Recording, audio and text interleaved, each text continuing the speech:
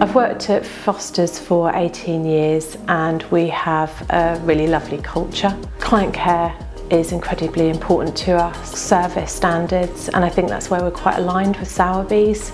We work together really well with Sowerbees and we look after our clients. Foster's and Sowerbees both see the importance of being present in the community and just want to be there for every kind of stage of our clients' lives in the service that we offer.